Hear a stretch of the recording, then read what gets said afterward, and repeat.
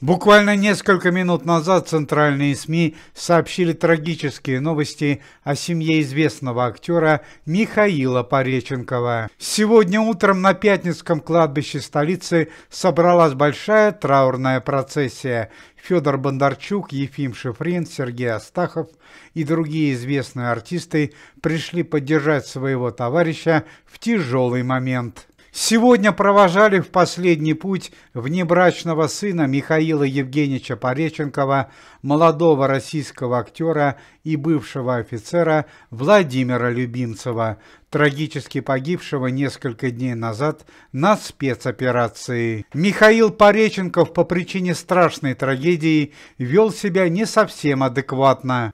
Артист вначале смеялся и хвалился своим сыном, потом зарыдал, а после и вовсе устроил праздничный салют на Пятницком кладбище. Находясь в состоянии аффекта, Михаил Пореченков публично заявил, что не оставит это дело без ответа и отомстит за своего сына, правда, каким способом не уточнил. После похорон Михаилу Пореченкову неожиданно стало нехорошо, его поддержали друзья и вызвали неотложку.